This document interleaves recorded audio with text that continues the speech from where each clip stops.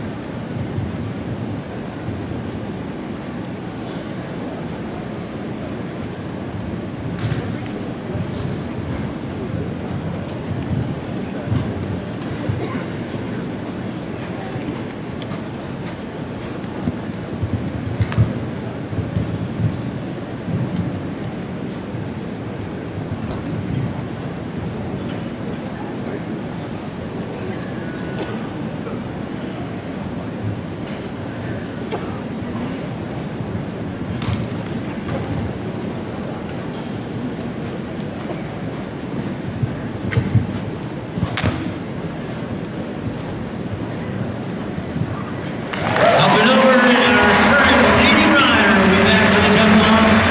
And Clayton Porter from the United States. All right, congratulations. Thank you. How does it feel? What does it mean to a rider to have a title like this awarded at a? Well, I think it's a it's a great award, and uh, you know, in the last few years, it's it's been a prize money award. I think which changes it a lot. Um, it's certainly a nice honor, but uh, it shows consistency for the week, and uh, it's a it's a great prize, and uh, it's a nice way to finish the season. Can talk about today? Uh, Carlos, I thought jumped beautiful in the first round. I was really happy with him. Um, you know, it was a little bit of an anxious jump off because Beezie and I were also kind of duking it out for this award. So, you know, unfortunately, maybe let that uh, seep into your thinking a little more than it should. You know, I made a mistake. I should have kept coming to the vertical. You know, it was a kind of a flat out jump off, and I tried to change my mind at the end, and it probably wasn't necessary. Uh, I should have trusted the horse, but that happens from time to time. game. Yes. now, remind me, have you been leading international rider here before? I think a few times. A few times. Yeah. When was when was the most recent? Do you remember?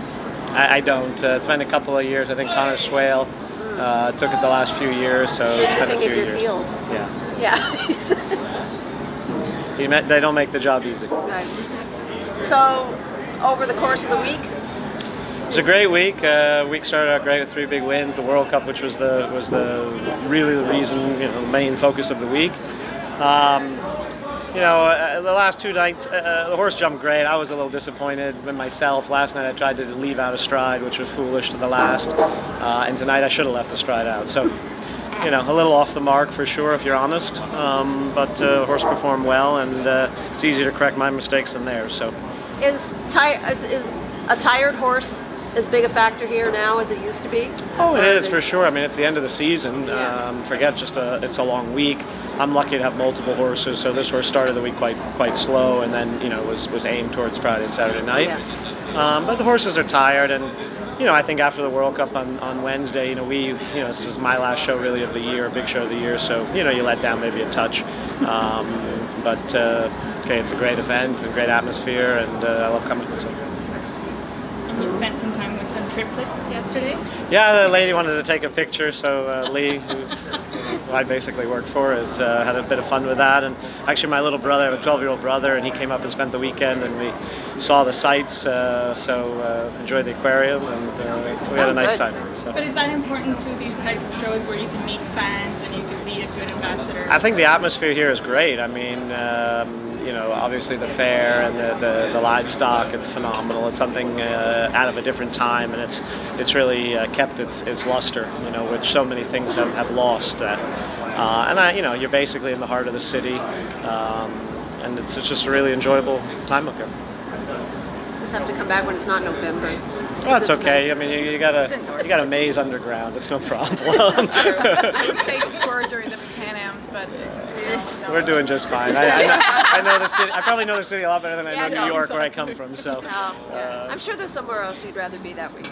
Yeah, it's all good. I enjoy being here, I always have, and I think this is my 18th, 19th year, and I was actually thinking in the gym today, uh, uh, you know, hope I can come back for another 20. So, Nice. We hope so too. We do too. Okay. Thank you. good night, guys. Congrats.